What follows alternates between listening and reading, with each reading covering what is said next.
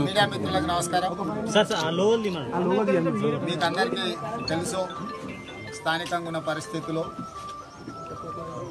యువ మిత్రుడు కమలాకర్ రెడ్డి ఈ నియోజకవర్గంలో అదేవిధంగా భారతీయ జనతా యువ మోర్చాలో భారతీయ జనతా పార్టీలో నిబద్ధతతోటి పార్టీ జెండాను భుజాల మీద మోసిండు మీకు అందరికీ తెలుసు.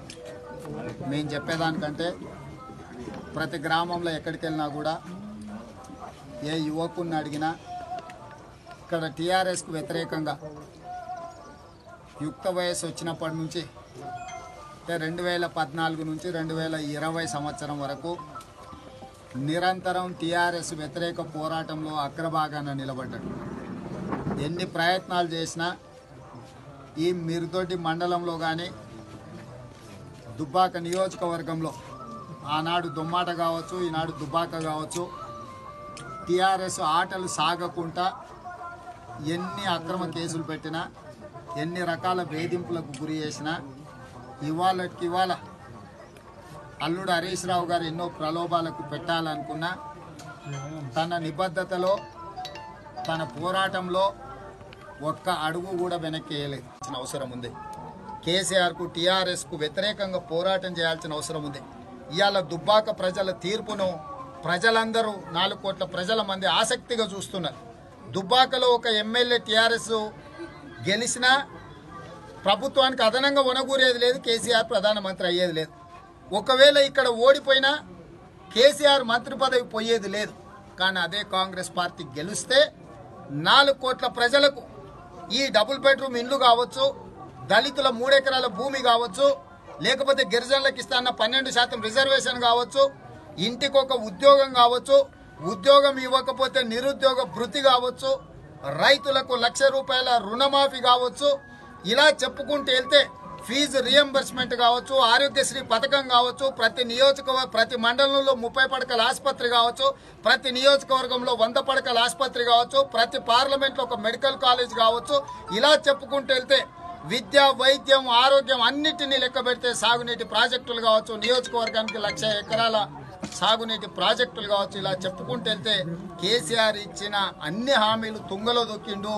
వీటన్నిటినీ లెక్కగట్టి కర్రు కాల్చి వాత పెట్టే అవకాశం దుబ్బాక ప్రజలకు దుబ్బాక యువకులకు అవకాశం వచ్చింది.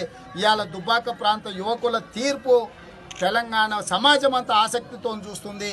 ఇది నాలుగు కోట్ల ప్రజలకు మేలు జరుగుతుంది కాబట్టి ఇవాళ ఒక దుబ్బాకను మిర్దొడ్డి మండలాన్ని దృష్టిలో పెట్టుకొని కాదు నాలుగు కోట్ల ప్రజల యొక్క జీవన ప్రమాణాలు మెరుగుపడాలంటే నేను ఒకటే అడుగుతున్నా. ఇవాళ పక్కన జరుగుతున్న దుబాకలో కావచ్చు సిరిసిల్లలో కావచ్చు లేకపోతే సిద్దిపేటలో కావచ్చు. ఈ మూడు నియోజకవర్గాలలో జరుగుతున్న అభివృద్ధి ఎందుకు దుబాకలో జరగలేదు? రామలింగారెడ్డి గారు రామలింగారెడ్డి గారి కుటుంబం పెళ్ళి నుంచి మొదలు పెడితే చావు వరకు కేసీఆర్తోనే అండగా నిలబడ్డమని సోదరిమణి సుజాతమ్మ చెప్తుంది.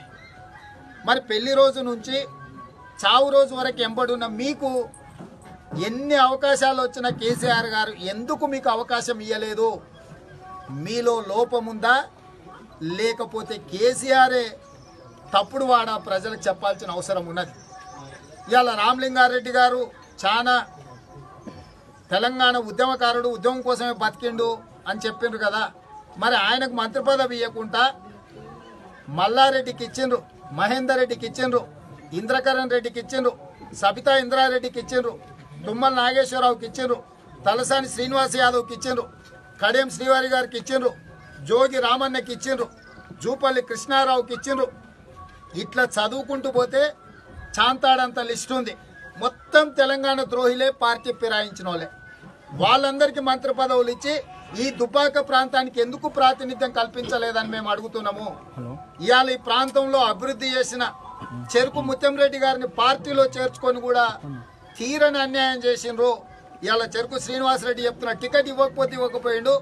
దాదాపుగా సంవత్సరం నుంచి బ్రతికున్నంత కాలంలో చరిత్ర. మీరు ఒక్కసారి తిరిగాయండి.